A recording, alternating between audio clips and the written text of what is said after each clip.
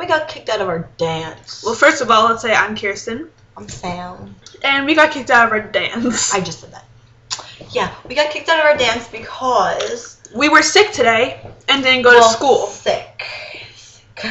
Her mom just believes we played hooky. That can work too. No, just kidding. In case our teachers are watching that, that wasn't true. I hate my my vice principal. You could actually see the devil in her contacts. All right, so we both had two like similar stories, but not exactly the same. So I'll tell mine, then she'll tell hers. A short, brief summary. Hurry up. Okay, so this morning, well, yesterday, I went to school. Then by period four in math class, I wasn't feeling too good, so I went to the nurse because I thought she would just let me like lay down for a few minutes and then go back to class. Not really. Um, Miss Goodcoop and the nurse got really mad at me and made me go home, even though I didn't really want to because makeup work and I didn't really feel that bad. Then I was planning to go to school today, but then my dad said I couldn't because he was afraid that Miss Goodcoop was just gonna say that I had to be sent home again. So it was better if I just stayed home instead of him having to go pick me up later. So I stayed home.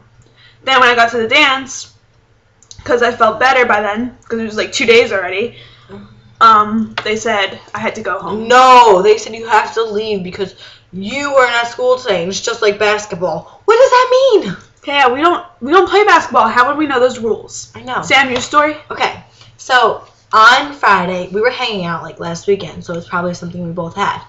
So last weekend we were hanging out, and then this weekend, I mean, Monday, Tuesday, Thursday, Thursday we both like I went in that third period, and I felt really really sick. So I um. Oh yeah, I went to the nurse's office and she was like, "You don't look good. You have to call your mom." So I called my mom and she didn't answer the phone. So like she made me stay in the nurse's office for like a whole hour and it was really really boring. And then I was so confused. Then I went home in my mom's friend's car. She dropped me off at home. And this morning I woke up and I felt bad because I still have stomach ache. And then I went to the dance because I felt better. And then the vice principal lady who hates me so much because she thinks I made a crime or something, I don't know.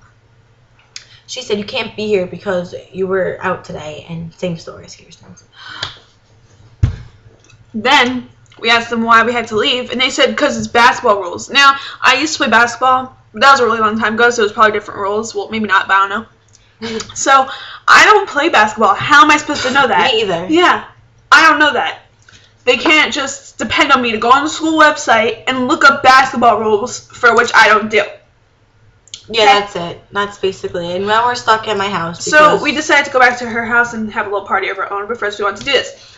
At the dance. we're gonna make a lot of them. we got to stay for 15 minutes at the dance while her mom came. And our principal was like, because the lady that threw us out was our vice principal and our like social studies teacher.